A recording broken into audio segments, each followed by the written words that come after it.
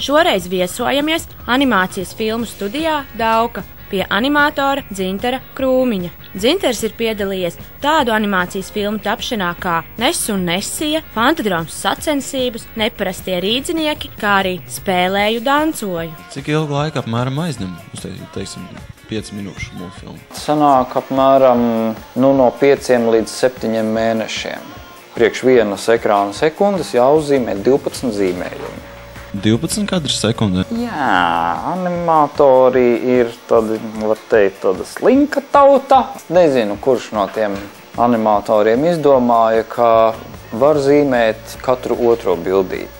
Ka cilvēka acs nenofiksē šo iztrūkumu. Un ja video mums iet 25 kadri sekundē, kino iet 24 uh, kadri sekundē, tad tika atklāts, ka var zīmēt uz to vienu sekundi 12 kustības fāzes un vienu šo zīmējumu eksponēt uz diviem kadriem. Kur ir pašam tāda mīļākā mūsu filma? Šķiet, ka varētu būt neparasti rīdzinieki. Tur ir tas brīnums, ka mēs redzam, nu jā, Rīga, bet īsti nav Rīga. Tur tās mājas ir savādākas lietas, bet ir kaut kādas šīs te atpazīstamās lietas, kas tur ir tie Rīgas gaļi, tie, tie, tie kaķi no kaķu mājas.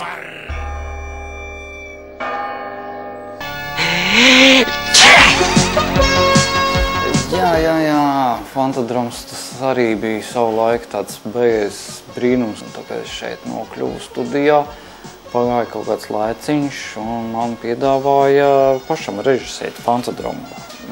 Nu, tas bija tāds uh, pirmais lielais darbs uh, šeit studijā. Toreiz tas viss tika filmēts uz kino, un uz lielā galda ir piesprausts panorāmas fons, kas bija kaut kādi pusotra vai divi metri garumā. Viņš ir piesprausts te, mēs uzliekam to indriķi virsū, un tad mēs tā parulējam rullīti, nospiežam podziņu, paceļam stikliņu, ieliekam jaunu indriķi, parulējam panorāmu pāris milimetrus uz priekšu, atkal nolaižam stikliņu, atkal nospiežam podziņu un šitā teņa. Tā kā, nu, ir, ir ko atcerēties. Šobrīd top um, animācijas filma uh, Dzegos un 12 viņas vīri. Šie tēli, mēs redzam viņus visus šeit kopā, bet viņi ir katrs atsevišķā slānī. Viens šis te ir laikam ar šiem te cipariem, šitas te ar šitiem cipariem un viss. Pirmo reizi cilvēks, kas redz kaut kādu šādu melno montāžu, vienmēr priecājas par tiem cipariņiem, kā tie cipariņi tur lēkā. Kāda ir atšķirības ar to, ko tu vari paveikt mājās un ko, ko mēs varam paveikt šeit studijā? Tā robeža šta, starp profesionālo un amatierismu ir jau tā ļoti tāda, tāda nu, izplūdus. Jo mm, līdz ar datoriem mums ir iespēja kaut kādas savas idejas realizēt profesionālā formātā. Bet, ja tas man kļūst par dzīves mērķi, un uh, es sāku ar to mm, gribēt kaut ko nopelnīt, tad tam jābūt ir tā, lai otrs to gribētu nopirkt. Šis zīmolītis dod milzīgas priekšrokas. Mēs izvēlamies otras izmēru, kaut kādu lielu. Ja mēs viegliņām valkam pāri, tad ir tieva līnija, kā mēs stingrāk uzspiežam, tad viņš aiziet vienmērīgi uh, uz pilnu izmēru. Tā tas viss mums notiek, tā kā bumbiņi mums tur aizlec. Tā ir jaunākā daukas filma Māsu un brālis, kurai kurai tikko bija pirmizrāde. Te mēs varam redzēt, no cik slāņiem sastāv lūk šī te viena bildīte. Otra lieta, ko spēja šī programma, ir tā saucamā katauta tehnika. Zīmējums uz papīra uzzīmēts, viņš ieskanēts, importēts iekšā šī te programmā, apstrādāts un brutāli sagraizīts rokas, kājas nost, galva nost, viss sadalīts pa detaļām. Un tad viņš um, nu, atsevišķi par šīm detaļām arī tiek uh, kustināts. Un neskatoties uz to, tomēr, ka mums visas tās tehnoloģijas, viss, viss ir, visu, visu mēs varam, uh, pati galvenā varēšana ir mums šeit.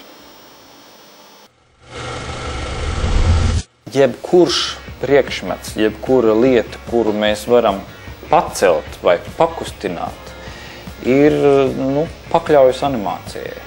Nu, tad ir tā, ka mēs noliekam kameru uz statīvu, norentējam viņu, iefokusējam uz šo te kompozīciju, nofotografējam, tad mēs ņemam tos priekšmetus, pabīdam pa mazu gabaliņu uz priekšu, nofotografējam, tad atkal pabīdam mazu gabaliņu visus uz priekšu, nofotografējam.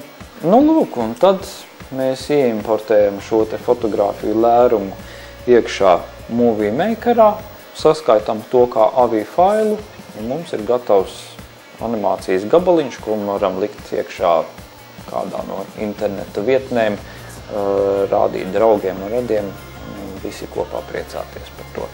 Tas ir tas vienkāršākais animācijas veids.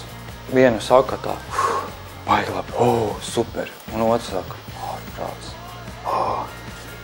Un tad, tad ir tas šoks, ka ir divas dienas ir strādāts, un uz ekrāna tas ir brum, brum, brum, desmit sekundes. Kā?